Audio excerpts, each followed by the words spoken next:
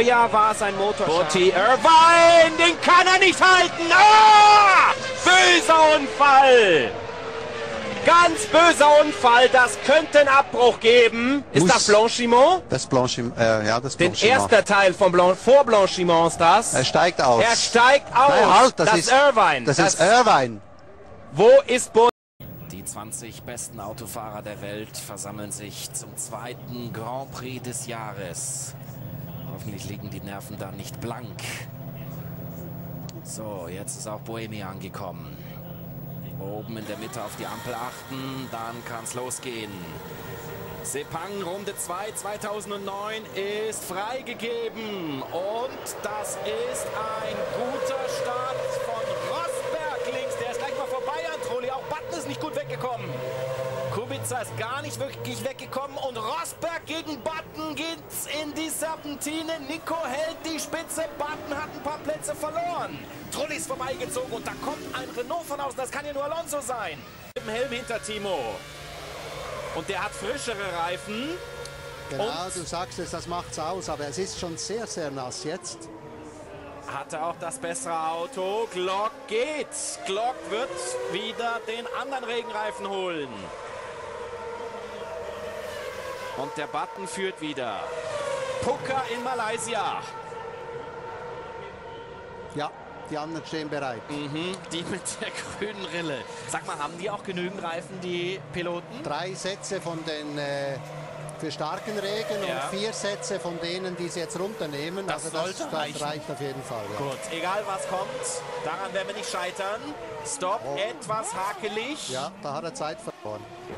Und das ist natürlich schwierig. Die Bedingungen Ja, jetzt sind schlittern in Richtung Chaos. Ich hoffe, Sie sehen noch was. Es knallt, es donnert, es ist schwarz in Sepang.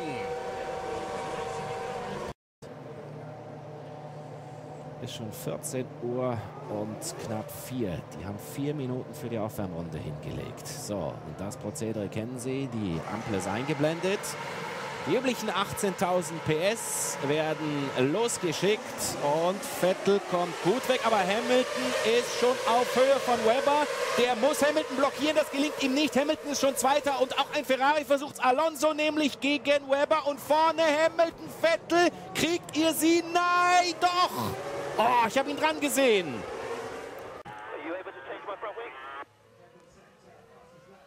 And Lewis, we are working out what is best for strategy.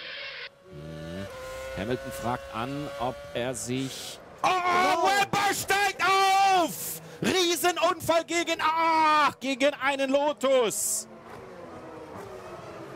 Ist okay. Safety Car ist draußen. Weber bewegt sich auf jeden Fall mal, schmeißt das Lenkrad raus. Das war noch schlimmer als in der GP2. Komm, bleib erst mal sitzen. Über Kovalainen ist er geflogen. Derweil kommen Kubica, Button und Barrichello in die Box. Jetzt gibt es auch noch Boxenalarm, aber uns ist der Zustand von Weber jetzt zunächst mal wichtig. Konzentrieren, der ein, den Umständen entsprechend ruhigen Sonntagnachmittag hatte. Ich wiederhole mich gerne, wenn der nachher sich die DVD ansieht. Ja, au- außer die äh, erste Schikane, kann sich erinnern, die Oh ja. Berührung mit Hamilton, Oh die ja. war ja gefährlich für ihn auch, weil etwas kaputt hätte gehen können. Aber dann hat alles gehalten und Vettel fährt dem zweiten Sieg des Jahres entgegen. Alle Beteiligten werden von einem aufregenden Rennen zu berichten wissen. Das muss man mal festhalten. Dritte Ausgabe in Valencia, der Europa Grand Prix, die beste. Und wir reihen uns nahtlos ein mit einem Grand Prix besser als dem anderen. Das war der neunte des Jahres und Vettel gewinnt im Hafen von Valencia. 25 Punkte sind eingetütet. Hamilton wird zunächst mal Zweiter und jetzt wird alles provisorisch dahinter. Button ist Dritter. Die sehen wir auf dem Podest. Ob dieses Ergebnis freilich so bleibt, nochmal, ist ohne Gewähr zu diesem Zeitpunkt. Sieg für Red Bull. Vierter ist Barrichello, fünfter Kubica, sechster Sutil und Kobayashi hat Boemi in der letzten noch überholt. Stark. Natürlich, mit neuen Reifen kann man das, aber das trotzdem, dass das in der letzten Runde noch geht. Sagenhaft. Und wie geht der Start über die Bühne? Vettel hat von der Pole nur einmal in Valencia gewonnen. Hier ist das Bild. Gleich kommt die Ampel, aber hinten wird erst noch auf die Positionen 20 bis 24 gerollt. Das dauert. Da denkst du da vorne, das ist ja ewig. Die Ampelanlage sehen Sie auch schon eingeblendet. Deutschland 2010 in Hockenheim. Freie Fahrt. Guter Start oh. Alonso und auch Massa kommt top weg. Vettel muss schon blocken vor der ersten Kurve und Alonso ist innen. Massa übernimmt die Führung. Wenn sich zwei streiten, freut er sich und Weber geht ganz außen herum zurück auf die Bahn. Vettel hat gegen beide Ferrari den Start verloren.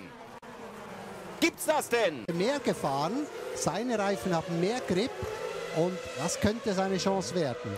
Vorne dürfen wir nicht vergessen, fährt Jensen Button, der wieder mal anders taktisch an das Rennen heranzugehen scheint. Button führt vor den zwei Ferrari. Button muss allerdings noch kommen. Vettel Aber ist somit Vierter. Der Button ist der Reifenflüsterer, der fährt mit den weichen Reifen. Achtung, Massa kriegt sie. Entschuldige, ich habe ihn rutschen sehen. Ja, aber trotzdem. Da war das Heck fast weg, du. Ja, Alonso hat es fast geschafft da. Er setzt ihn unter Druck. Mhm. Ja, das wollen wir sehen. In der Lage hier, sich vor Kubica zu platzieren, der jetzt von Supersoft auf die härtere Mischung wechselt. Der war schnell. Guter Stopp, ja. Und, und, und. Gegen und. Schumacher im Beschleunigungsduell. Das wird haarig. Das wird knapp, das wird ganz knapp. Wer bremst zuletzt? Ja, und die Reifen wissen wir jetzt, die mhm. harten Reifen bei Kubica, die sind noch nicht so griffig wie bei Michael Schumacher. Der könnte angreifen. Deswegen lautet das Duell Krakau gegen Kerpen Richtung Haarnadel. Schumacher zieht innen daneben, hat jetzt theoretisch die schlechtere Position. Aber wer bremst denn jetzt später? Achtung, Kubica hält dagegen. Oh. Und Schumacher Oder kontert auf der Traktionsseite. Nein. Alonso unter Druck gerät, wenn da hinten der, der Vettel aufschließt, da muss er sagen, jetzt muss ich vorbei. Ja. Und dann könnte es natürlich zu einem weiteren teaminternen Krach kommen. Glock lässt auch Alonso noch vorbei.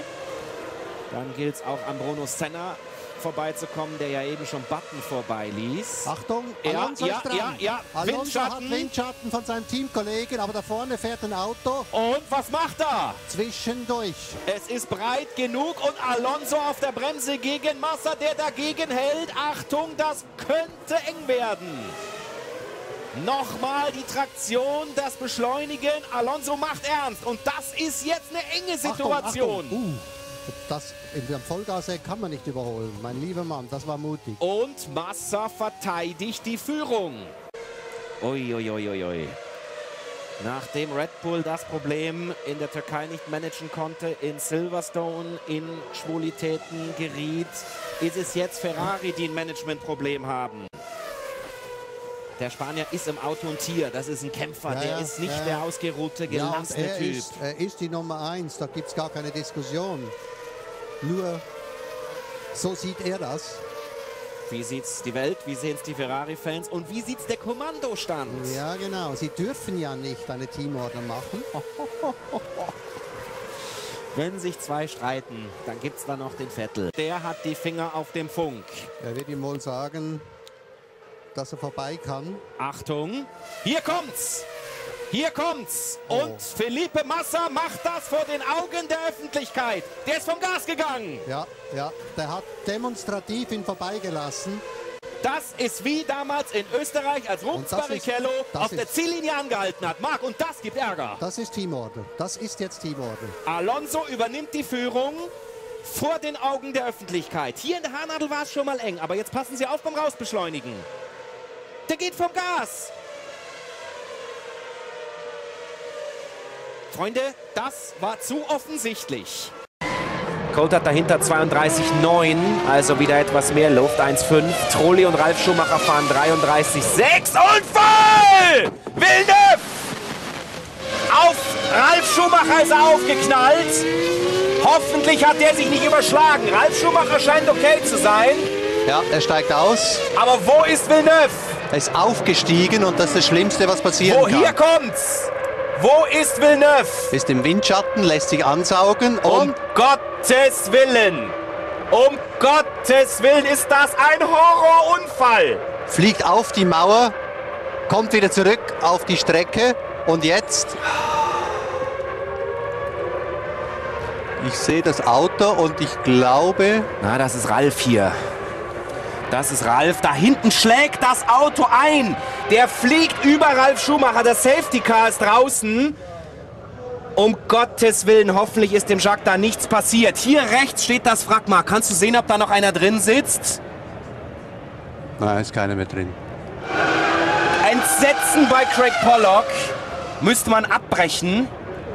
Wenn der Fahrer okay ist, muss man nicht abbrechen. Da hinten, hin- ganz hinten, da Ja. liegt das völlig zerstörte Auto von Villeneuve. Ja, aber ich, der ist ausgestiegen, Gottes Willen. weil sonst wären ja Leute am Auto. Mensch, zeigt mir mal den Villeneuve, dass es dem gut geht. Was für ein Unfall. Wir wollen noch nicht analysieren, was da passiert ist, warum er aufgestiegen ist, ob er sich da verschätzt hat. Es scheint so, dass in dem Moment, wo er da gesucht hat, wo er links oder rechts vorbei will, vorne Ralf die Kurve angebremst hat und deswegen ist er aufgefahren. Oh, schau dir mal die Teile, die da auf der Strecke liegen, an. Da muss man natürlich auch jetzt all den ganzen Schrott herunterkehren. Das Auto liegt da hinten, da arbeitet keiner dran. Indiz dafür, dass Villeneuve zumindest draußen ist. Also wenn, dann wird dahinter der... Wir können Ihnen nochmal die Onboard-Szene zuspielen, Marc. Vielleicht kannst du noch etwas erkennen. Hier. Also hier sucht Villeneuve, soll ich rechts oder links vorbei? Er holt auf und jetzt kommt natürlich der Moment, wo vorne der Ralf bremsen muss für die Kurve. Wir haben rechts die Schilder und jetzt bremst er.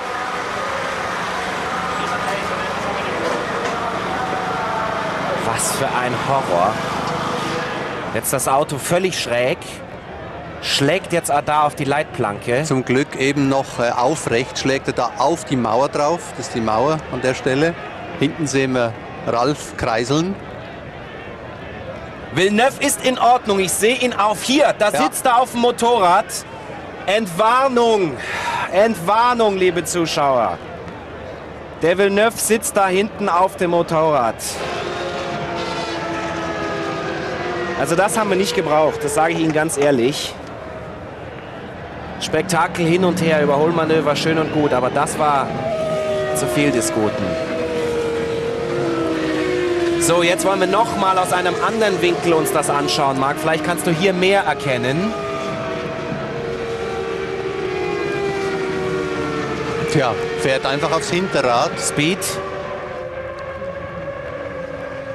280 an Ja. dieser Stelle. Das ist vor der Schikane. Schauen Sie sich das mal an. Da ist nichts mehr dran am Auto. Nur noch das Monocoque. Alles Ja. fliegt weg. Aber die Monocoques sind eben stabil geworden. Jetzt hat der Villeneuve in seinem Leben schon drei Horrorcrashs gehabt. Zweimal in Spa in der Eau Rouge und der geht in die gleiche Abteilung. Ja, mit der Geschwindigkeit. Ja. Wenn der vor Mann. 15 Jahren in der Formel 1 gewesen wäre, Marc, der wäre dreimal tot.